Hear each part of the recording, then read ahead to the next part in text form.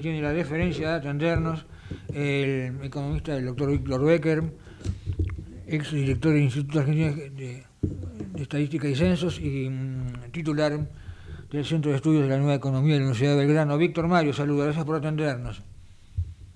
No, al contrario, gracias Mario por llamar. Bueno, este Víctor, eh, lo del fondo parece el cuento de la buena pipa, ¿no?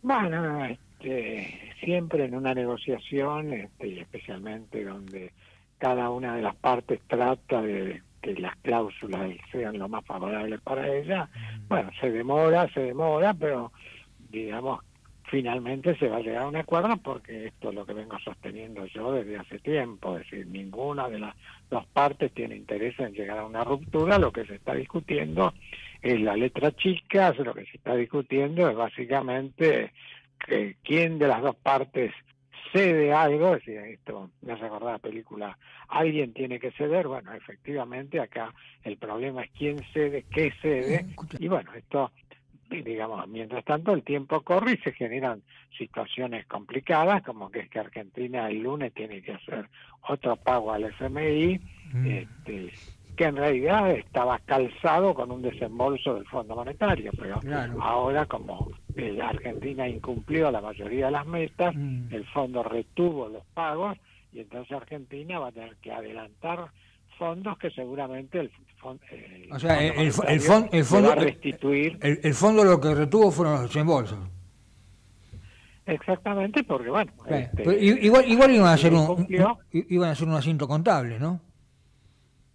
Sí, totalmente. Sí, este, el acuerdo que tenemos es este, Argentina recibe plata por una ventanilla y esa plata se la devuelve al fondo por otra ventanilla.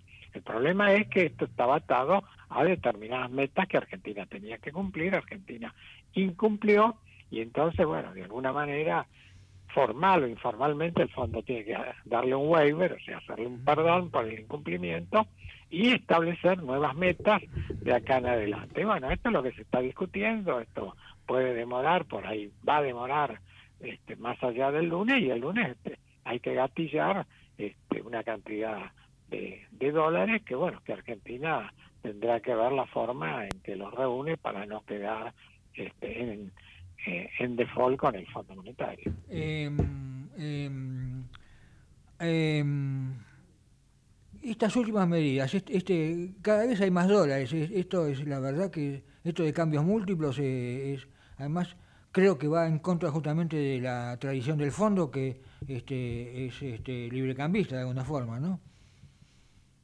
Sí, básicamente el fondo, digamos, históricamente lo que pide es que haya un solo tipo de cambio. Acá digamos, hemos inventado un sistema ya de tipos de cambio múltiples donde para cada producto hay un tipo de cambio, para cada producto que se importa, cada producto que se exporta prácticamente hay un dólar distinto.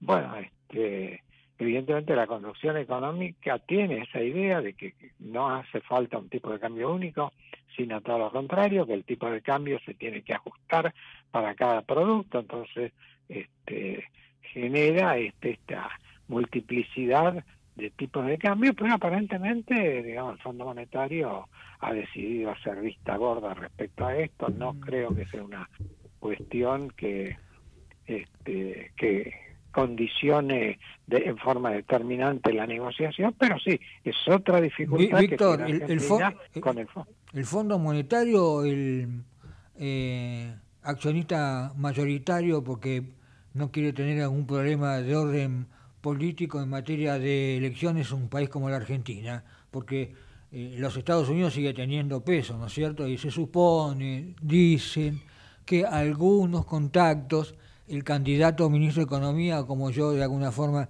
lo he caracterizado en estos, por estas horas y por estos días, doctor Jekyll y Mr. Hyde a la vez, este, les habrá advertido, bueno, tratemos de llegar a agosto, octubre y después vemos qué hacemos, ¿no?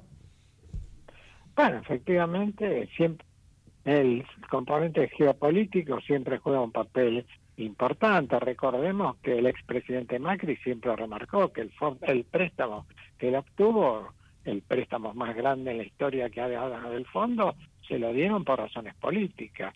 Y del mismo modo, este, hoy en día lo que Argentina esgrime es, de alguna manera, razones también de tipo político, o sea, mm. lo que, el planteo para Estados Unidos es con quién me quedo, con Brasil o con Argentina. Y bueno, Brasil últimamente este, no está resultando un este, discípulo amigable para Estados Unidos y bueno, ¿cuál es la otra alternativa? La única alternativa que le queda a Estados Unidos en el cono sur es Argentina.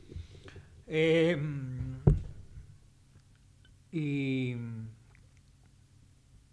en su momento, como yo decía en la apertura, siempre la tendencia es a barrer la basura debajo de la alfombra, así como se intervino, usted creo que de esto sabe bastante, el INDEC ahora se ha decidido postergar la publicación de los REM de la, este, este, las posiciones habituales que este, formulaban, formulan las consultoras y que las recoge y sintetiza el Banco Central para después de las elecciones. La verdad que este, es medio cambiar las reglas. Ya se intentó hacerlo con la elección de San Juan y evidentemente Marco Labaña lo, rechazó, pero esto es eh, eh, llevarse la pelota en el medio del partido, ¿no? Bueno, voy a decir exactamente lo mismo que dije cuando en vísperas de las elecciones en San Juan se dijo que el índice iba a salir el lunes y no el viernes. Mm. Lo que dije en ese momento lo repito ahora, es una soberana estupidez. Este, mm. Realmente, si pensar de que los votos de la gente van a variar porque el índice que salga el viernes es del 7 o el 8%, yo creo que es cierto que bueno que la inflación es un elemento que juega, pero hoy en día que si tenemos una inflación del 120% anual, uno o dos puntos más en un mes no, van a decidir el voto de la gente. El que la inflación lo que lo que puede influir la inflación en el voto de la gente ya está jugado con este nivel de inflación. Eh, Víctor, le agradezco mucho que nos haya acompañado, como siempre. ¿eh? Muchísimas Al contrario, Mario, siempre es un gusto atenderlo. Bueno, igualmente, un gran abrazo. ¿eh? Hasta luego. Ahí estaba el doctor Víctor Becker, ex director del Instituto Nacional de Estadística y Censos y también titular del Instituto de la Nueva Economía de la Universidad de Belgrano. Vamos